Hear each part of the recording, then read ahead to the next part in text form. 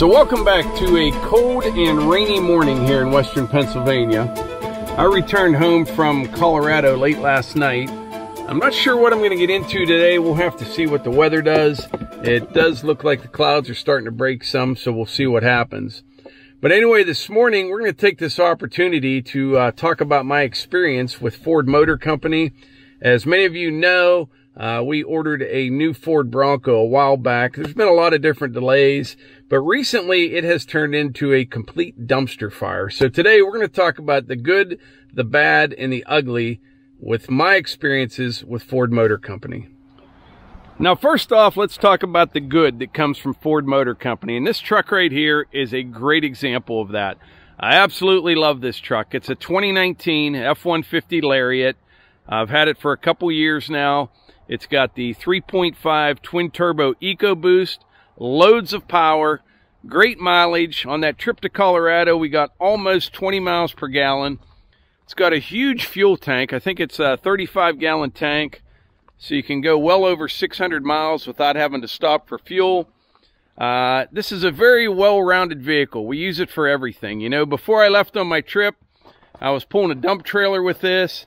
And then me and my buddy hopped in it, drive to almost the other side of the country on a hunting trip. Uh, Melissa and I go out to dinner in this truck. It's just been a fantastic vehicle. And I've had several F-150s. Matter of fact, I've been a pretty loyal uh, Ford customer. I had a Ford Excursion, an F-350. We had an Expedition, an Explorer. All in all, we've had really good luck with Ford products. I think the only one we had any real trouble with was the... Uh, Ford Explorer had some transmission issues around 150,000 miles. But all in all, I've had great luck and great success with Ford products.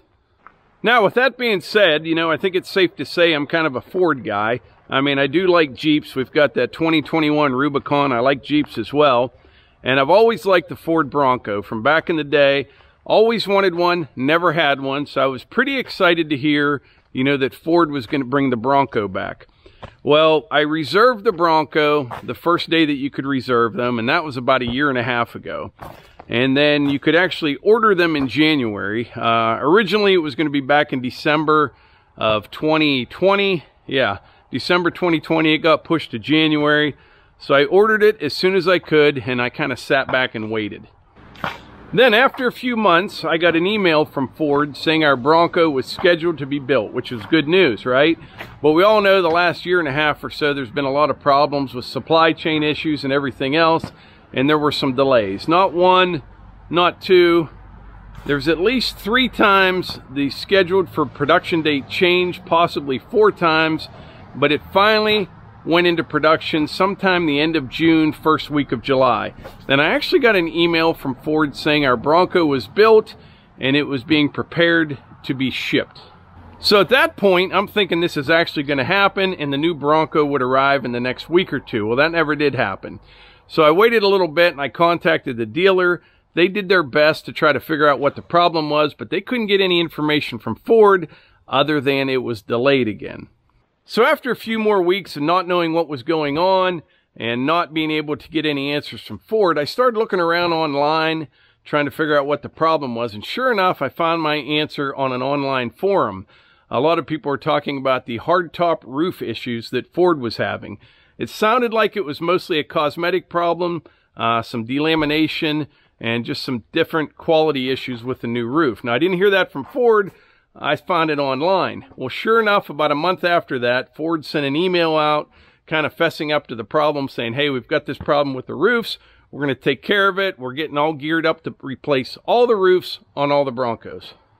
All right, so Melissa just joined us, but I was explaining, you know, how Ford kind of fessed up to the quality control issues on the new roof and that they're going to fix them all. Well, that was, uh, I don't even know when that was, back in September. Right. Yeah, probably in September we got that email at that point. And they were going to replace the ones that were sitting the longest first, which was one of ours. So right. back in, you know, end of June, 1st of July, our Bronco was actually built. And then they sent it to a place that they called Dirt Mountain. Now, Ford doesn't call it Dirt Mountain, but that's what the guys online were calling it. It's this huge parking lot. There's a big pile of dirt in the middle of it. And they put all these Broncos. I saw some pictures that look like thousands of them. I don't know how many. We've but had tons of people send us. but they're all sitting there waiting for a roof replacement. Right. So, all the Broncos, they're sitting there waiting for a roof replacement, right? Well, we got a confirmation from Ford uh, that our roof was going to be replaced. And then we got another email saying that our Bronco was built for the second time, basically, uh, September 28th.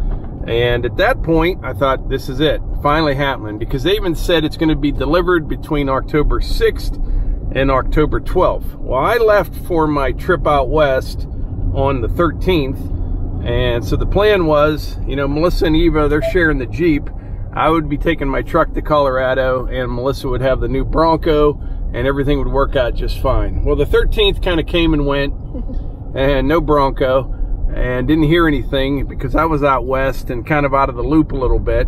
So I made some phone calls there earlier this week and it just turned into a big mess. It really did. I called Ford Motor Company. They have a number that you can call to check on the status of, of a vehicle and they were no help at all, actually. Uh, the guy was telling me, all I have here is saying it's supposed to be delivered by the 12th and it wasn't and he couldn't tell me anything else and uh, so I called my dealer. He was on the phone trying to figure out what was going on. And long story short, because I've been rambling about this long enough, it didn't show up.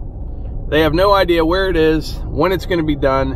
Uh, I'm sure there's another issue or another problem, and it'll probably be another month or two, and Ford will come clean and explain what this issue is. But so with all that being said, uh, we're actually in the market for a new vehicle right now. We're going out right now.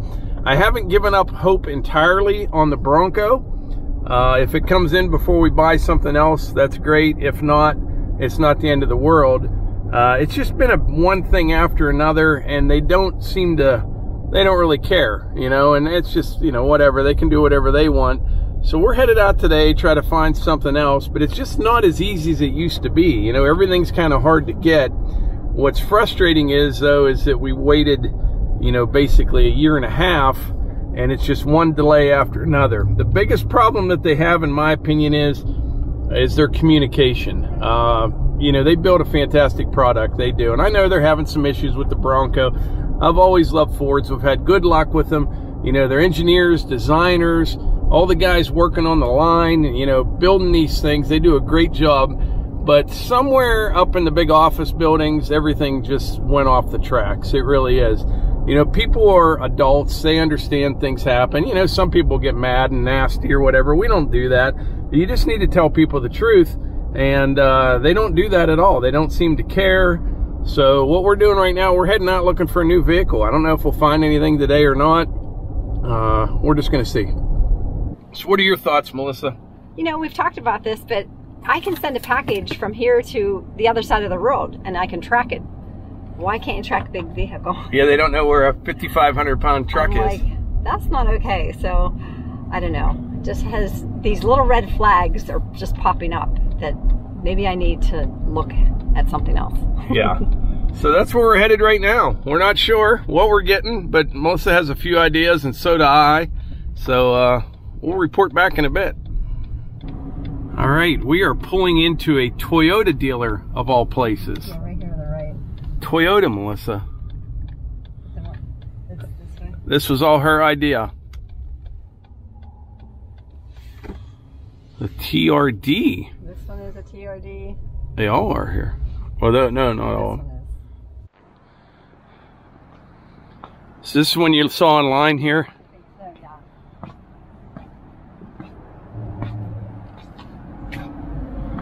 No, this is the trail edition. Trail Edition. I don't know much about these. Looked at them online.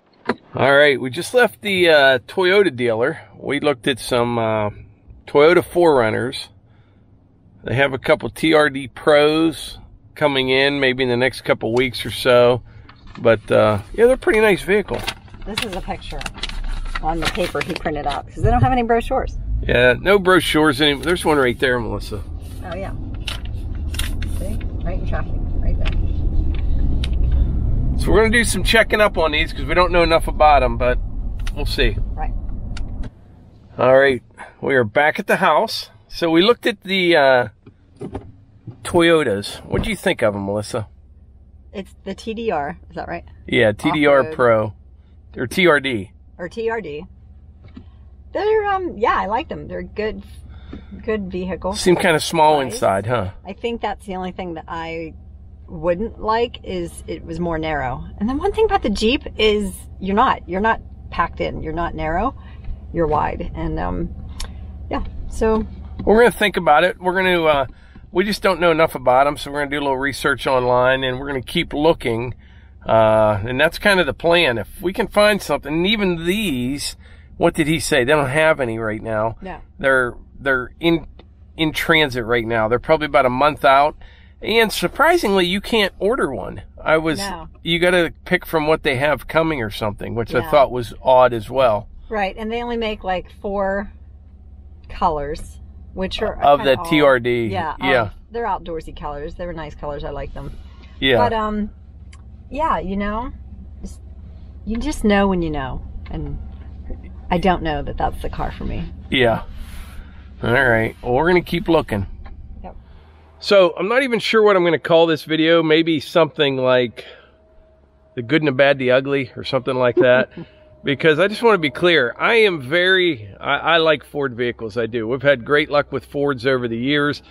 Uh, you know, should actually call it the great, the bad, and the ugly because I love their products. Like I said, the designers, the engineers, the people that build them. In my opinion, I you know, there's lemons everywhere, but in my opinion, they make a really good vehicle. Uh, that would be the great. The bad, the whole rollout of the Bronco was was is bad. It really is. It's uh, it was a swing and a miss. And the ugly part, or the most pathetic, is the lack of communication. Uh, they, you know, they just don't seem to care. So that's what I would consider the good and bad and the ugly. I think that's what I'll call this video. So, like we said, that's what the plan is. We're going to look for something else. If the Bronco shows up in the next week or two before we can get something else, we'll go with that. We're just going to have to wait and see. But, uh, you know, Yeah. it is what it is. A lot of people have, you know, a lot bigger problems in the world, but we're just starting to feel as though we wasted too much time Yeah. on this thing, waiting and waiting and all that stuff, and all the back and forth and not getting anywhere. And I just Well, never understood because it's like, you know, say you had somebody remodeling your kitchen, and they they said it was done, but it's not, and you said when are you going to be done, and they just say I have no idea. That's pretty Right. much. It's kind of like where it's at. So Yeah, because it's caused an inconvenience in our family situation and the dynamics of the way we run our schedules. yeah, Where now I'm inconveniencing my son by borrowing his car. Like, you know what I mean? Like, yeah, the decision making has been okay this is what we want but it's gone on too long where now we're yeah, we are inconvenienced and need to right. make another decision So hopefully they get their act together, but uh, if not, whatever. We can't do much about it. So, uh, like I always say, if you enjoy these videos, please hit the like button, click subscribe, and share them with your friends. Thanks.